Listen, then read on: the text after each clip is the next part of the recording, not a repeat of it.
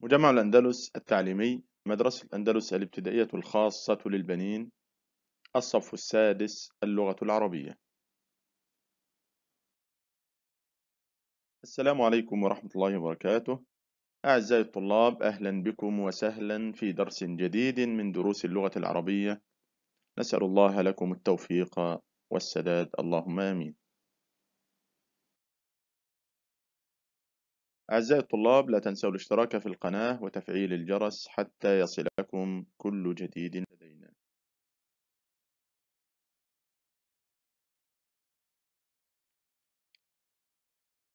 أريدكم أن تتدربوا على هذه الأفعال. صل اجلس اكتب.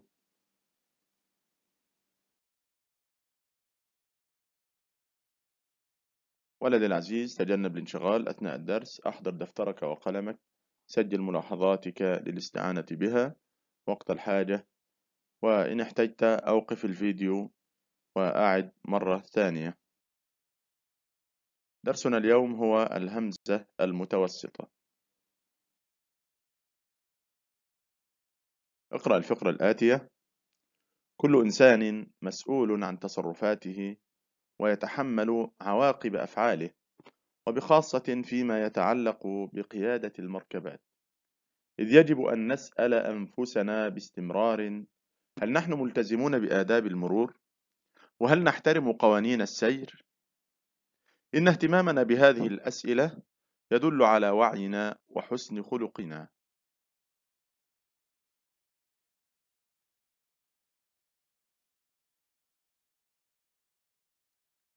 نلاحظ كلمة مسؤول.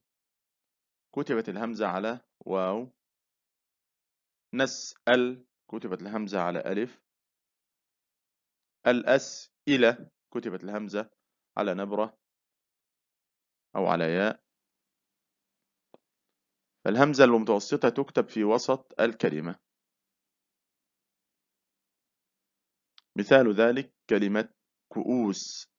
مسألة ضوئية.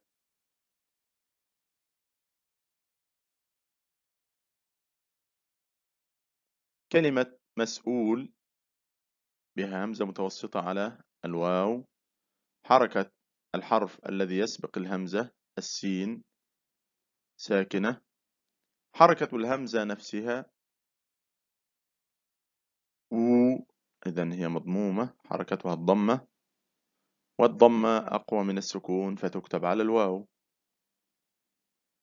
كلمة مؤلف. مؤ. الهمزة. حركة الهمزة كتبت على الواو. وحركة الحرف السابق الميم هي الضمة. وحركة الهمزة الفتحة. أيهما أقوى؟ الفتحة أم الضمة؟ الضمة ولذلك كتبت على الواو.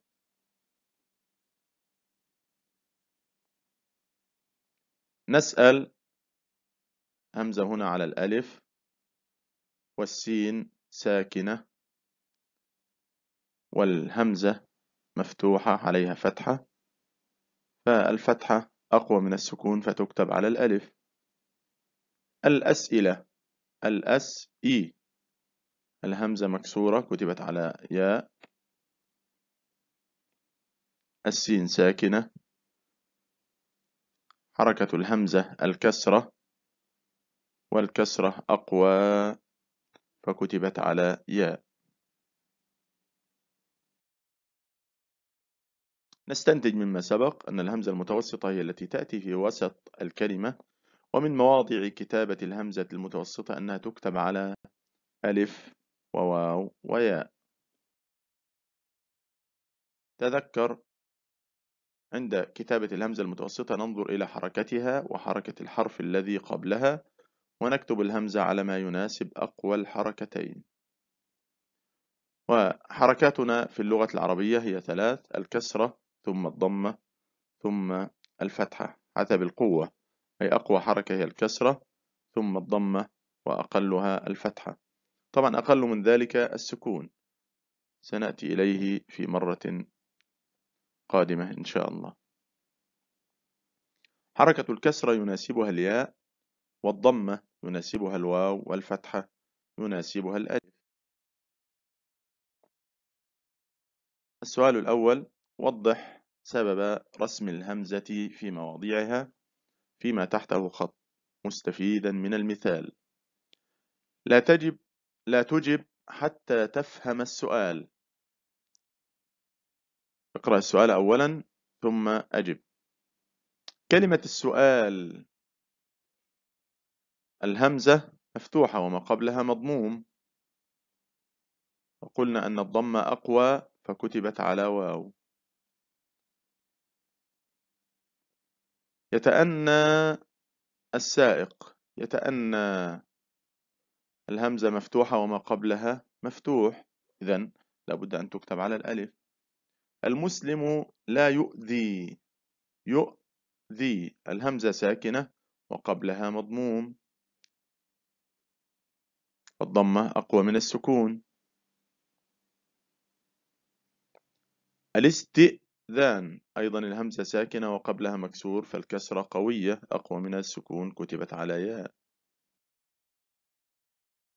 السؤال الثاني اختر الكلمة المكتوبة إملائيا بشكل صحيح لملء الفراغ. لا تجعل يسيطر على نفسك.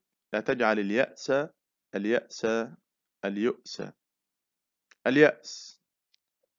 اليأس الهمزة ساكنة وقبلها مفتوح. فالفتحة أقوى من السكون تكتب على ألف. لا تجعل اليأس يسيطر. لا تجعل آه، لا صديقك على فعل ند... على فعل ندم عليه. لا تؤنب. كيف نكتب تؤنب؟ تو التاء مضمومة والهمزة عليها فتحة. أيهما أقوى؟ رائع. الضمة فتكتب على واو لأن الواو تناسب الضمة.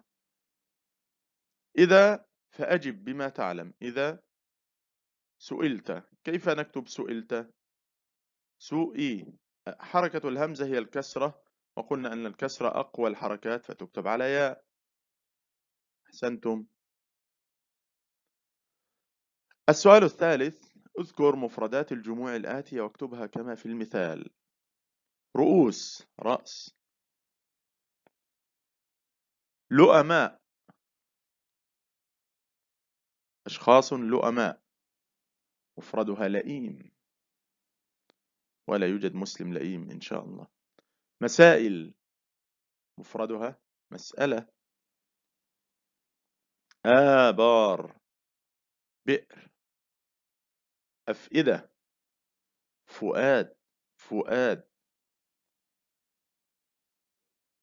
كؤوس مفردها الواحد منها كأس. نستطيع أيضا أن نعرف أن كلمة رأس الهمزة ساكنة وقبلها فتحة والفتحة أقوى من السكون فكتبت على الألف. وبئر الهمزة ساكنة وقبلها كسرة الكسرة أقوى من السكون فكتبت على ياء. فؤاد. آه الهمزة مفتوحة عليها فتحة ولكن قبلها ضمة والضمة أقوى من الفتحة فكتبت على واو لأن الحركة الأقوى. لئي الهمزة هنا مكسورة. وقلنا أن الكسرة أقوى الحركات على الإطلاق وقبلها فتح فكتبت على الياء لتناسب الكسرة مسألة مسألة. الهمزة مفتوحة والسين قبلها ساكنة وقلنا أن الفتحة أقوى من السكون السكون أقل الحركات. فكتبت على الألف كأس. أيضا الهمزة ساكنة وقبلها فتحة فكتبت على الألف أنه أقوى من الهمز. غلق درسنا أيها الأبطال. آه، نريد أن نعرف سبب كتابة الهمزة على هذه الكلمات آه. يصوم المؤمن المؤمن شهر رمضان. قلنا أن الميم مضمومة والهمزة ساكنة فكتبت على واو. الصدق من شمائل إي الهمزة مكسورة شمائي. ولذلك الكسرة أقوى الحركات فكتبناها على ياء. رأس رأس الحكمة مخافة الله. نسأل الله أن يرزقنا وإياكم جميعا خوف الله سبحانه وتعالى. رأس الراء مفتوحة والألف ساكنة والفتحة أقوى من السكون فكتبت على ألف أسأل الله سبحانه وتعالى أن يوفقكم جميعا لما يحب ويرضى. ونؤكد على أهمية هذا الدرس يا أيها الأبطال. آه، بعض زملائكم ممن يهملون تعلم آه، قواعد الكتابة يصل إلى مراحل عليا من الثانوي أو غيره ولا يزال عنده أخطاء يخطئ فيها في الكتاب. نتعلم ونسأل الله سبحانه وتعالى أن يوفقكم جميعا لما يحب ويرضى. وسلام الله تعالى عليكم ورحمته وبركاته.